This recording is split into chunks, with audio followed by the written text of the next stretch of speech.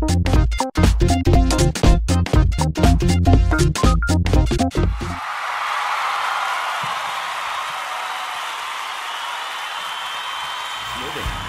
listen up, America.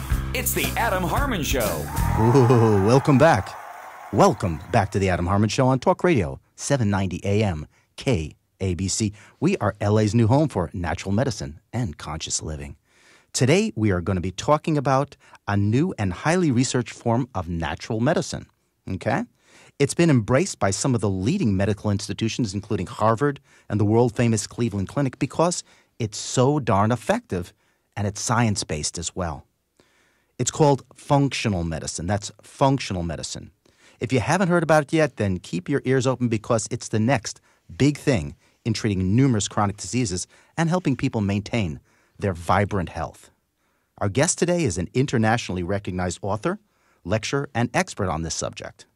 James Maskell has spent the past decade sparking debate and encouraging a shift away from conventional medicine and towards a wellness centered model. Functional medicine, that's what it's called. This functional medicine model, starting with doctors themselves. To that end, he created Functional Forum, the world's largest integrative medicine conference with record setting participation online and growing physician communities around the world. He's also a founder of something called The Evolution of Medicine. It's also a best selling book of his. But this community he created, The Evolution of Medicine, is an e commerce platform that provides highly curated and customized resources, tools, products, and services, making it easier and more affordable for conventional doctors out there to embark on a new way of managing healthcare and really integrating this new form of functional medicine. James lectures internationally, has been featured on TED Med, HuffPost Live, and TEDx. He also serves as a contributor to The Huffington Post, Kevin MD, The Big Doctor, and Mind Body Green. Well, James Maskell, welcome to the Adam Harman Show. Great to be here with you, Adam. Such a pleasure. Oh, my goodness. Well, it is my pleasure. I've heard such great things about you from some of the top people in the field out there, including what's considered the father of functional medicine, Dr. Jeffrey Bland himself. Yeah, Dr. Bland is a legend. Thank you. There we go. You know, let's let's dive into this whole area as it relates to functional medicine. I think we need some definitions here. I know it's uh, it's been around for quite a while within the the certain niches of naturopathic doctors and many other areas. It's growing out there, but it's sort of a new term to the the whole world out there. How would you define functional medicine, and how does it compare to conventional medicine models? Uh, yeah, the simplest way I like to think about it for most people is root cause resolution. Right, hmm. you go to a doctor, you have a set of symptoms the the plan for most physicians has been to give you a drug or uh, something else that will make that symptom go away. But ultimately, you're not dealing with the root cause of the issue. Functional medicine is about identifying that root cause and dealing with the problem at the root cause, so you get back to normal health. You don't have a dependence anymore on medication. And so I, I've just been very interested in it because it feels just a more congruent way of getting people and getting a community and getting healthcare back to a health focused state. And it's it's pretty obvious to anyone who's who's looking that healthcare today is more like sick care. It's not really about creating health. The goal mm. is not a healthy person, right? The goal is someone who's on, you know, different medications because that's how, you know, that's how the whole business part of medicine works. And, um, you know, I'm really interested in creating structures and systems that can keep, get people healthy and keep people healthy. And that's why I was really attracted to functional medicine. It's so interesting. A lot of people out there will say, you know, I need my Zoloft or, or, or, or I need my different forms of ACE inhibitors or I need many of these other things things. And, and it's not due to an ACE inhibitor uh, deficiency uh, because you have hypertension. It's, it's other issues as well. Can you delve more into that concept of the root cause?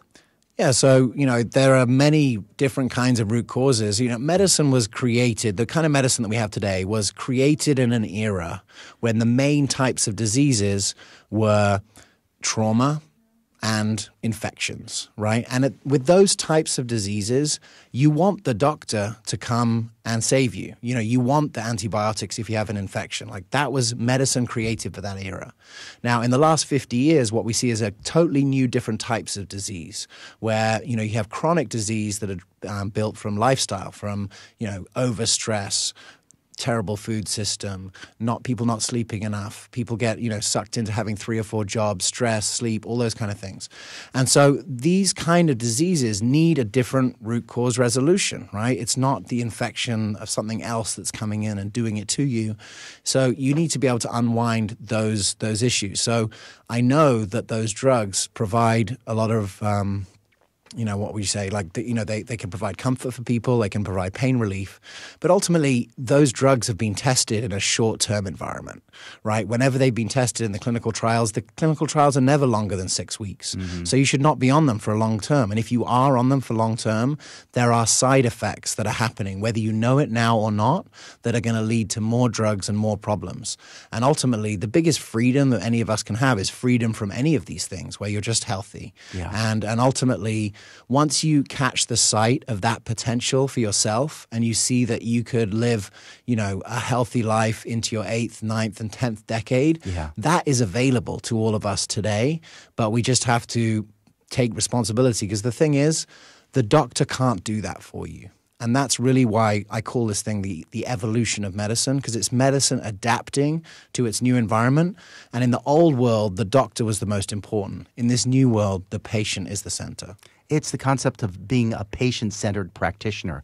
I think that's really wonderful. I, I find many times that people out there, they want to leave with a diagnosis. They want to be put inside a box, but they get so down on themselves uh, if they have some form of chronic disease because it does not find resolution in that format.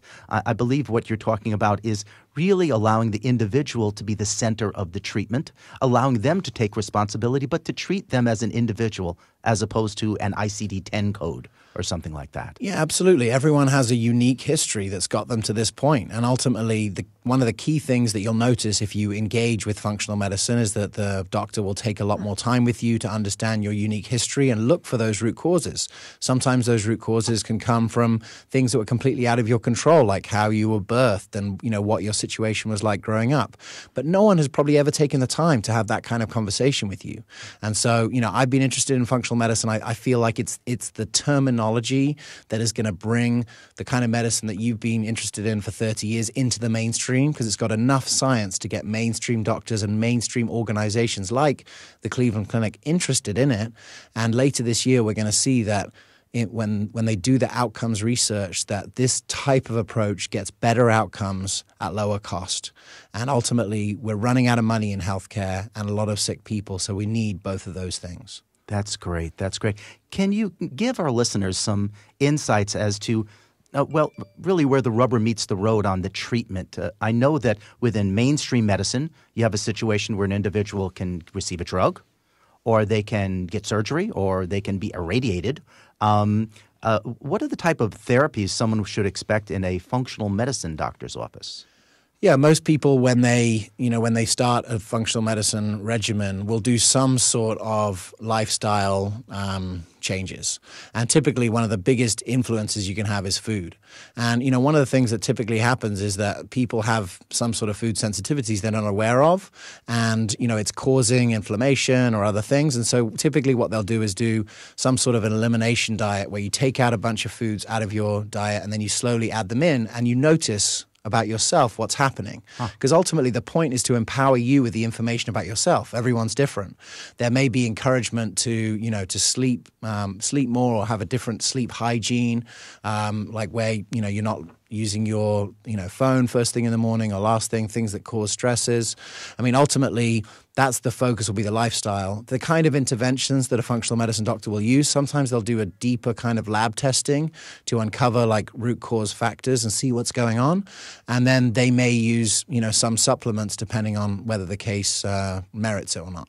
Yeah yeah you know, it's very, very interesting. I find the differences here make all the difference in regards to the care, really empowering the patient. So I applaud you for the work you're doing and really gathering together doctors and helping them with that concept of integrating this into their practice. And please, um, what, what is your website? If, if a doctor out there says, I want to get more into this, where would they go? Yeah, if you go to Go Evo Med, G O E V O M E D, that's goevomed.com. That's the evolution of medicine. And on there, you can set up a time with one of our team or you can look at the resources.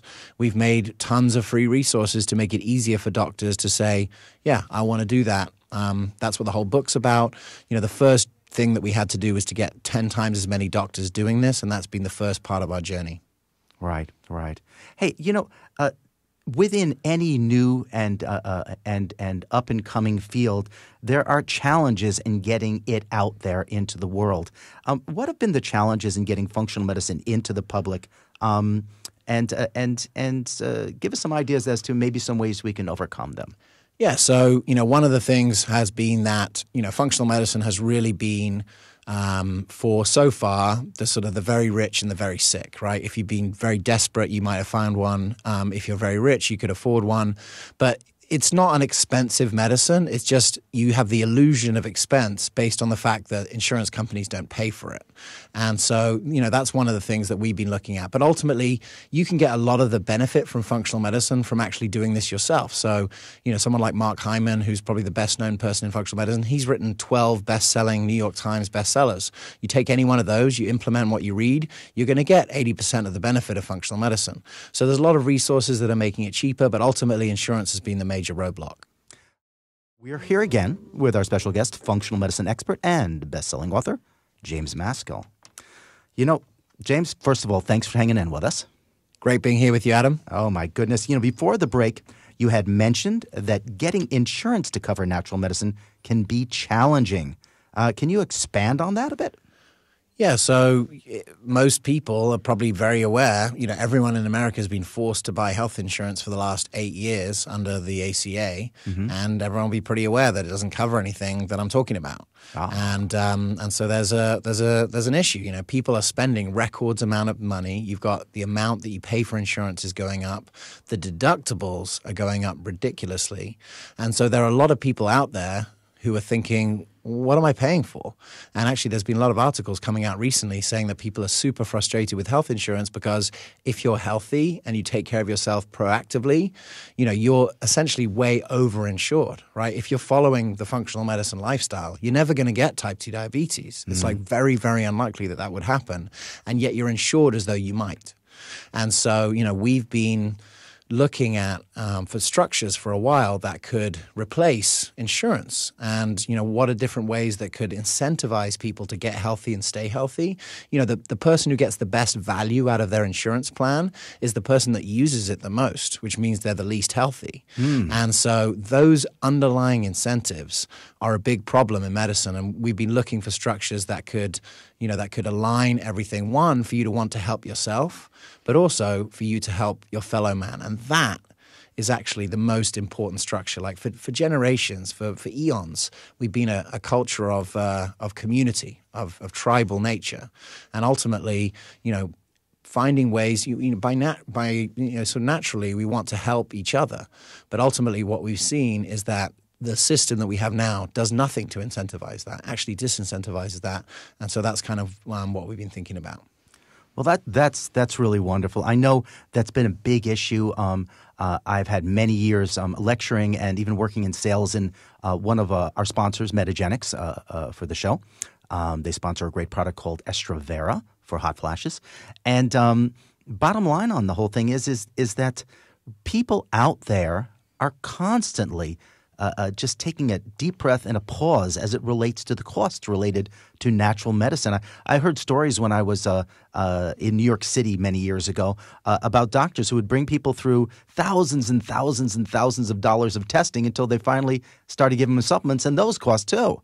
So it was very, very hard on individuals, and I'm I'm glad that you're looking into that area. You know, I know that you're leading a large group of functional medicine doctors who have created an exciting new healthcare co op that allows consumers to access natural functional medicine at affordable prices. Can you tell us about uh, how you started the program, how people can access it, some of the features of it? Um, just he, here is your moment in time to be able to get the good work you've done out there. Yeah, let me just give you a little bit of backdrop. So, uh, in 2013, I had a child, and I, up until that, for eight years, I had been uninsured in America. Oh. Right, for um, 25 to 32, I just took my chances. I couldn't afford it. I was just building my business, and I, I didn't do it. But then I, I realized I need to get it in 2013, and I started to look around, and I found that there was this sort of loophole to the ACA where there were these groups called the Christian Health Cost Sharing Ministries, right? Not many people know about it, but actually more than 500,000 Americans use it as an alternative to insurance. So these are groups of people who have decided that they're going to share their healthcare costs and they commit to being healthy and they commit to, you know, being participating in that way because of their faith. And so I saw that, you know, I've been a member of one of those for 5 years and in fact we promoted one of them a couple of years ago. And ultimately we see that groups of people who come up with their own understanding and their own agreements about how they share their healthcare costs and agree to be healthy, you know, it was it's been dramatically cheaper. So to give you an example, I've paid four forty nine a month for a family of three, compared to the cheapest ACA plan today would be like fifteen hundred dollars. So I'm saving thousand dollars a month, twelve thousand dollars a year over commercial insurance. And ultimately, I thought all the time, I was like, you know, the functional medicine community would be the best community to build one of these health cost sharing cooperatives on, but because of the law and the ACA, you couldn't build your own one. And then on January second the Trump tax bill went through and got rid of the individual mandate. And because of just the unique thing that I've been doing for the last 13 years, in my mind, I was like, well, that means we can build our own one. And on that day, I was set up. And so we are building the first health cooperative. And so what that means is it's a group of 10,000 people who have decided that they're going to opt out of insurance. And rather than having an insurance company manage the risk of them having an accident, the risk is going to be borne by the group. So, as an example, if you have the worst possible issue, let's say you're hiking and you fall down a cliff and you need to be airlifted to UCLA, and that Right. whole thing costs a million dollars. If you have 10,000 in a group, what that means is that's 100 bucks each for mm-hmm. everyone. Mm-hmm. So the risk is now borne by the community and the cooperative decides to share those costs. And we've got this awesome technology that's going to run the whole thing. So it's going to be super transparent. So everyone knows exactly how much is in the fund, what's going to pay for what. But the ultimate is that in order to get in, you have to be practicing the functional medicine lifestyle. And so, you know, we have a three year window right now before the next president walks in. Maybe it's Oprah, maybe Trump comes back for a second term, right? But we got a three year window to prove now that the right care and the right incentives can get people well and keep people well. And the generosity that we're going to deliver through this by bringing people into the group who we think we can get better. So we're basing this, this cooperative on anyone that is healthier than the average. So all the health practitioners that I work with, people like yourself who have taken, you know, you know, taking it on personally, you know, uh, health coaches, people who go to things like CrossFit and the gym regularly, you are overinsured in the current system because you are taking care of yourself and taking personal responsibility. We believe that should be rewarded. So if you go to Knew Health Now, New is K N E W, so knewhealthnow.com, we're essentially doing like a, a kind of a Kickstarter. We need 10,000 people who are healthy to say, I'm in and put down $100. And on January 1st, 2019, when the individual mandate kicks in from the Trump tax bill, we will have a new health cooperative. And thousands and thousands of people are already interested. We've got all kinds of exciting partners of people who have tons of healthy people. And ultimately, this is going to work. And we're going to, in the next three years, we're going to be able to show so that, you know, by the next election, we will have a seat at the table for whatever healthcare looks like in the future to say personal responsibility, you know, and incentives in the right direction are an important part of wherever the future goes. And so, you know, that's our mission for the next three years. And if you're listening to this and you have been listening to this show for a long time and you do take personal responsibility and you do want to save thousands and thousands of dollars per year over your health insurance, you now have a choice. And we'd love for you to choose us. You know, that's that's literally amazing. I I'm so glad that you've spent the time and put the due diligence into making something like this happen. Um, can you just uh, give us an idea, since uh, the functional lifestyle is is still sort of new to individuals out there? Um, what does what does functional medicine? What types of things does functional medicine treat that our people out there are suffering from? What types of uh, uh, of things would it re- replace? Um, uh, within their everyday life and, and how would it better their life. So they understand. I mean, I, mean, I know it's only $100. Uh, to some people, it's big. To some people, it's small. But, um, uh, you know, why should people go forward on this? Well, the reason why you should join today and put your $100 in is because you want to be a founding member of this cooperative. Like, unlike an insurance company, the, in the cooperative, it'll be the consensus of the group that decide how things are paid for, right? There's, there's no the man. This is a community that's working together to help each other and support each other. You know, ultimately, for those people who, you know, who are um, you know, who are well, typically there are th- certain things that they're doing that keep them well. They eat right, right? They don't eat a lot of processed food. Um, you know, they cook for themselves, and they, you know, they they eat a lot of like vegetables. You know, these crazy things called vegetables, right? those so crunchy things, you know, those, yeah, those crunchy things. So you know that kind of thing. You know, on the stress side, they have a some sort of practice to be able to deal with their stress. So they may be meditating, they may do yoga, they may swim in the ocean, they may, you know, whatever you do that you have some sort of practice to deal with the day-to-day stresses, especially if you live in a big city, especially if you live in 2018, right? There's a lot of it's a stressful situation. Um, you know, third uh, I would say that they take sleep seriously. Like sleep is the one, the most underrated thing. People who sleep a lot, you know, that their health outcomes are significantly better, seven eight hours a night. It's it's a it's a big deal. And then the last thing is exercise. And if you're doing those four things consistently, typically you're not going to get ill. You may have a freak accident just like everyone else might, but your chances of getting a chronic disease have gone down significantly. And so we really focus on people who have already understood that, and then because we're basing our cooperative on practitioners that sort of uh, facilitate that for other people, now the initial 10,000 can serve 100,000, and then 100,000 can serve a million, and a million can serve 10 million, and you know we can create an epidemic of health. That's wonderful. Um, you know, James, I, I, I want to hear once again, just for our audience, um, where they go to to be able to access this. So, come on, what is it again? Yeah, so the company's called Knew Health. That's new with a K. So, Knew Health Now. K N E W Health Now, N O W. Uh-huh. And that's basically where we're running our campaign to get the 10,000 people in. And by putting $100 down today, what you're saying is that I believe in this and I want to be a part of it. And essentially, you know, we are looking to get to 10,000 by open enrollment, which is November 1st, 2018. And I believe in this so much that on the June 26th, I'm going on a 40 city tour around the country to popularize this event. And so if you sign up for those and you pay $100 down, you're going to get two tickets to an event of your choice. And if you're in Los Angeles, June 26th is the event's going down, and we'd love to see you there. Well, you know something? You can consider me signed up. Boom. Ba-bam. Here we go. and uh, anybody else out there who is listening, this man is legit. He has done great things for the field of functional medicine, respected by major universities, major corporations, and real movers, shakers, and influencers in the field of medicine. He's going to get this done. You want to be on this train. Go to, uh, once again, it's Knew Health Now, K N E W healthnow.com. Check it out. Dynamite. Hey, James, thank you so much for uh, being a, a, guest here on The Adam Harman Show. Um, ladies and gentlemen, James Maskell.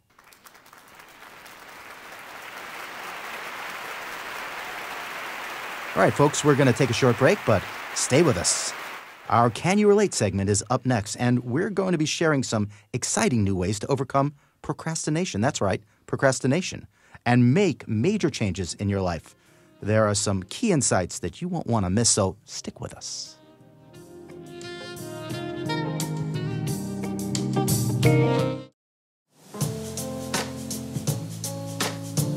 Ooh, bringing us in smooth. We are back, and you're listening to LA's new home for natural medicine and conscious living. It's The Adam Harman Show on Talk Radio, 790 AM, KABC. Well, during this installment of Can You Relate, we are going to be talking about an epidemic, and I say that with all capital letters, that affects nearly everyone out there to some extent. But one in five have it so bad that it can actually affect their jobs, their financial well being, their relationships, even their overall health. You may be asking what this is. What is this epidemic? It is procrastination. You may say, "Oh, procrastination. That's that's not such a big thing. You just get up and do what you got to do." But according to some researchers, chronic procrastination has more than quadrupled in the past 40 years. That's right, from an estimated 5% of the population in 1978 to roughly 26% now. A recent study of students showed that 85 to 95% of them procrastinated on coursework. Now, that's not high school, this is college. You got to get it done there, you're on your own. You know, and they're still procrastinating at such a high level. Another recent study showed that 95% of adults procrastinate occasionally. And out of that group, 20% of them procrastinate so much that it has jeopardized their jobs, their credit, their relationships, and even their health. Another study showed that procrastinators are more likely to eat poorly, sleep less, and drink more. Wow, that certainly sounds like an epidemic to me, don't you think? So, you know, why do people procrastinate? Let's think about it. Why do people do that? You know, some psychologists say that certain people loved the rush of doing things at the last minute. Ooh, adrenal burst there, you know? But that in and of itself would not explain the fourfold increase in the prevalence of this in our society over the past two generations. So, hmm, let's think about that for a second. I think at its core, and I've worked with many people out there and coached many uh, uh, couples and single individuals on getting things done and really meeting their goals uh, in, in, in life coaching them and business coaching them. I think at its core, procrastination is a response to stress and ever growing feeling of disconnection in our society. This leads to a hunger for quick fix gratifications like drinking, drugs, and thrill seeking.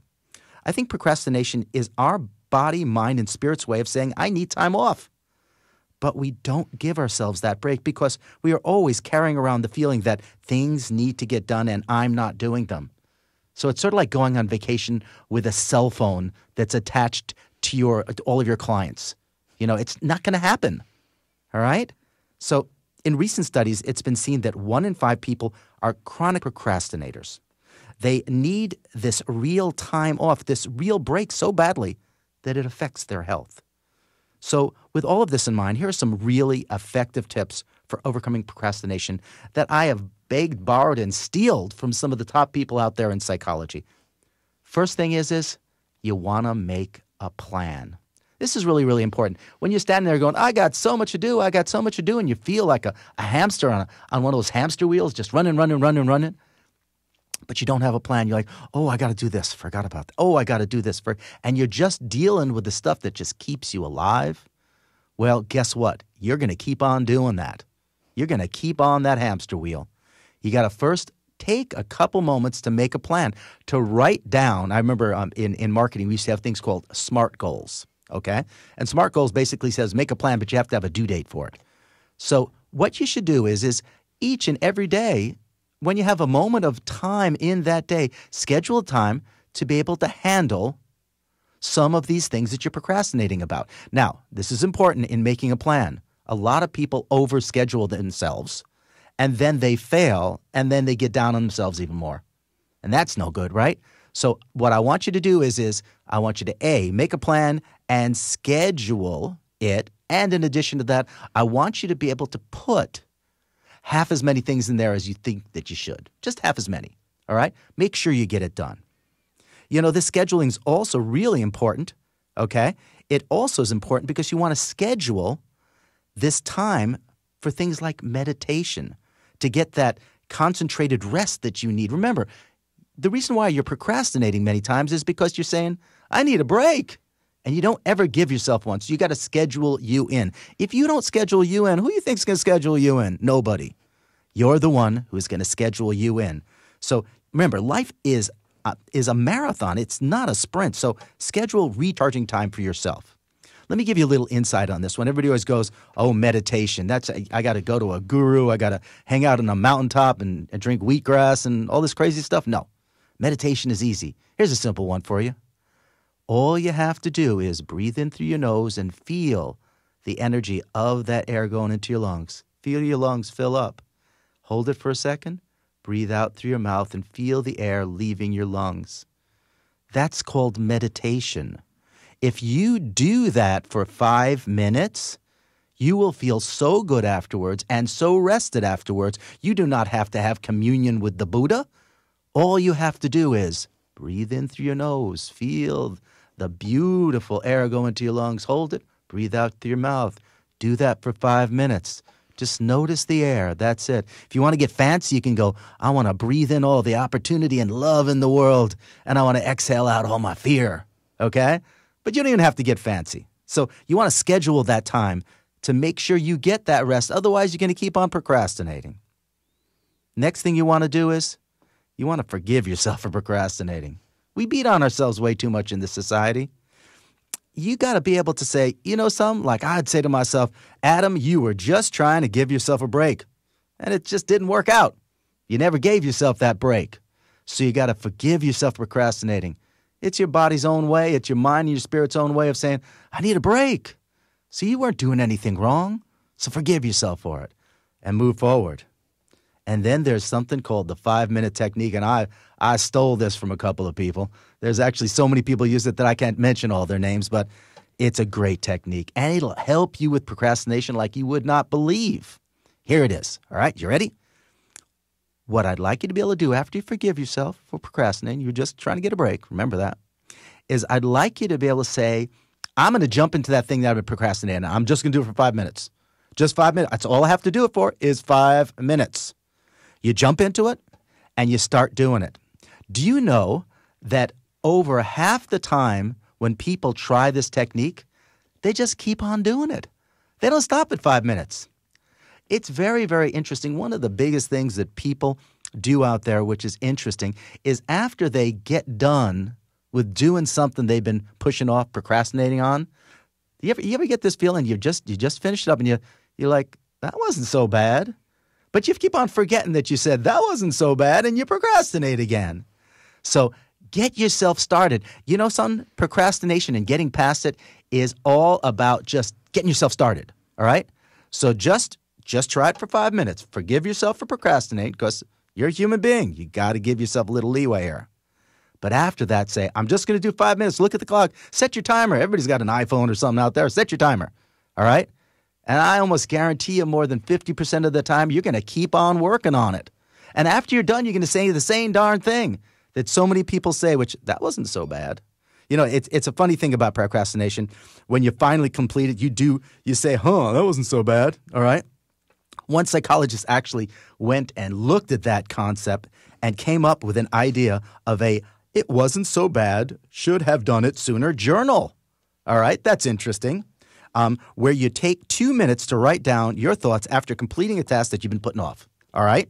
Um, and you do that every time you have a task that you put it off and you finally finish it, you write down in the journal. She asked her patients to read the journal entries every time they began to procrastinate. And you know some? It worked wonders. You, you know, in the midst of it all, most individuals they, they yield to common sense. When it smacks them in the face, they yield to common sense. And the common sense here is, my goodness, why did I put this off? It wasn't that bad after all. You know, why didn't I fill out those forms? Why didn't I handle this? Why didn't I handle that? Why did I put that off? Bottom line is, is that you as an individual right now can make your life go on a success fast track by getting rid of procrastination. Try the five minute tool. Forgive yourself. Schedule time for yourself to get that time off. That's all you've been asking for when you've been procrastinating. You just haven't given it to yourself. You brought that cell phone along with you, business cell phone along on a vacation. That's not smart. You're never going to rest that way. Well, you never give yourself a rest unless, of course, you schedule it in. So make sure you meditate, breathe in, breathe out, forgive yourself, and try that five minute technique. Boy, that works really great. And lastly, I think it's important we discuss the subconscious fear of change. I mean, a lot of people out there say, How come I can't change? How come I can't change? You know something? On a subconscious basis, it is your survival technique, your, your, your survival um, uh, instincts that keep you from change. Now, listen to me on this. When it comes to changing, you as an individual, okay, see change as the unknown, and the unknown is dangerous. So that's one of the reasons why people avoid change.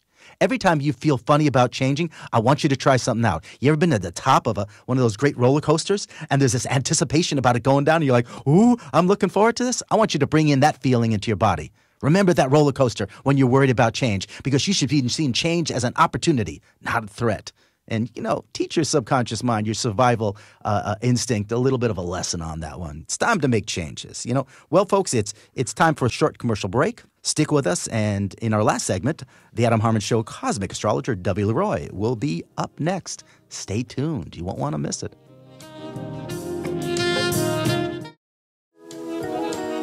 Oh we are back and you're listening to the Adam Harman show on 790 KABC.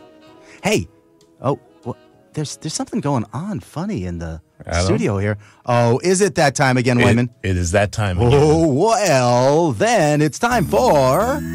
The fabulous Dovie Leroy, cosmic astrologer. Oh, Debbie Leroy. We are in it. Take it away, girl. We want some cosmic insight. Yes. So to begin, we are going to go over the weekly astrology forecast. And in Aries, bosses, higher ups may be testy during this time, but ambition is very high. So be aware how you approach things because that will determine if things are successful or failures. We don't want failures. No, we don't. Oh, okay. In Taurus, remain restful. Fulfill neglected tasks and obligations. Do not form inflexible plans, new projects, or relationships. For Geminis, try holding off on any big money decisions and projects until next week, at least until after the retrograde. Be aware of your hopes, wishes, and dreams because they can manifest during this time. For cancers, start nothing in career and business or media zones. Give it about a week. Tread cautiously in traffic as well because tickets can be flying around during that time. And uh, Just like stay inside. Yeah. Don't go outside. stay in your shell. Be afraid. Be very afraid. Yeah. and definitely exercise caution because these career uh, situations will be happening. So, career ambitions may actually clash with partners. For Leos, your workload could be piling up, which is a good thing, but do not take on any new chores during this week. Find anything old that's like debris in your life and pretty much seize it. Get it out, just remove it. And for Virgos, go slow and realize barriers exist, hidden or not. And please make no promises. Be aware that hidden desires or life changing action may be on your mind heavily. Lust, large finances, medical, or lifestyle choices should not be acted on yet. In Libra, children and family could be a handful this week. Get chores done and prepare yourself for opportunities that will come in the following week. For Scorpios, health and work are your main focus this week and are subject to delays and mistakes. So protect ongoing projects or situations. Now for Sagittarians, please reject impulses, you fire signs out there, hey. and step lightly. Avoid pushing situations and people. Keep the romance at a pleasurable tone. And if there's any old uh, situations with a male or a female that you've been thinking about that you really want to enter back into your life or to contact you, do not give up hope yet. Give it a week. It probably will come back into your life. And for Capricorns, pruning may be required of old unfruitful relationships and projects. So, starting this week until May, do not make any impulsive actions towards the home front. Sweet, unexpected blessings may be coming your way, and due to this, high amounts of attention may be coming your way as well. But do not be too forceful in domestic zones. For Aquarians, things may be going very well for you this week, but avoid any gossip or confessions during this time. Welcome whatever comes, but avoid initiating anything yourself. And for Pisces, be aware there could be delays or false starts with your money, earnings, possessions, anything along the lines of that. You're going to want rest and to tackle neglected chores. And that is your weekly astrology forecast. Now, for some updates, yeah, just pretty much hold off until next week, until after the retrograde, which is updating you, going to be ending on April 15th. So we are going, right? Everybody applaud. We are going to be going into direct motion with Mercury. And that means that anything that we went and reevaluated and revisited is going to be moving forward. And something interesting about Mercury retrograde is if you don't even know what you reevaluated or revisited and you don't have anything that's changed on the outer form of your you as a person, there has definitely forcefully been a shift inward that will evolve you in the way that you are supposed to go. Now, we also have a new moon in Aries. So much fire energy is happening. And this new moon is going to be on April 16th. This is a time to set your intentions for what you want, not for what you don't want. It's pretty much like you have a big blank piece of paper, no lines, no marks, and you get to create and manifest what it is you really, truly desire and want to be and do on this earth. And there are a couple of rituals that I actually do during new moons, and you can actually look some of them up online. You can join other calling people, I guess, or groups that are a part of these new moon rituals. Do we have to become part of a witch's coven or something? Maybe. Don't snitch. Okay, I won't give it away. we'll have to wear hats. No, I'm just Secret society, tinfoil. Right? And some of these rituals that you can do is get a pen and paper, and it only take about 15 minutes. And what you're gonna do is get yourself in this positive, lifted, higher vibrational state, happiness, whether it's drinking tea or listening to relaxing music or lighting candles, whatever it is, get yourself in that higher vibrational state. And then what you wanna do is sit down and start saging around wherever it is you want to actually manifest at. And then close your eyes for three to five minutes. Take deep breaths in, in through your nose and out through your mouth, just like what Adam was talking about. We're not going to call it meditating, but that's what you're doing. And what you want to do is remove all that clutter that's in your brain. You're not going to be thinking about what you're cooking for dinner that night. You need to go into what you're manifesting and actually focus on it. And then after you get grounded, you get your pen, get your paper, and start writing out what it is that you want to manifest into the world. And it is amazing what you'll receive from doing that because it actually works. And another way to do it is grab a crystal, put it in your hand, do it the same way, except instead of actually um, writing everything down, you're just going to have the crystal in your right hand for about 15 minutes and you're going to manifest all of what it is you want in the atmosphere around you so it enters the crystal and that's it that simple boom done Bang. moving on There you right go. and speaking of crystals, the crystal of the week is black obsidian. Ah. And the reason for that is because we are ending Mercury retrograde, and the other reason is because it's perfect for new moon rituals. And another one you can do is labradorite or clear quartz, any of those. And what black obsidian actually is is a very deep black stone that is shiny.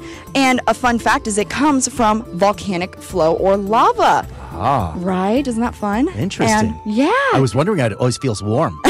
What's up with that? It's because it's lava. Lava. Yeah. But if you get, I recommend going to Mystic Journeys, going to Psychic Eye, grabbing one of those stones, holding around with you for at least the next two weeks because you can do amazing things with it. So, oh, also, Venus is showing her beauty in the in the sky.